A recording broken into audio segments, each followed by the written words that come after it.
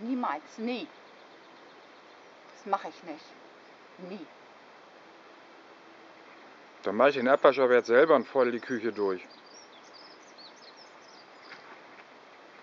Das ist eine gute Idee, Schatz. Das finde ich toll.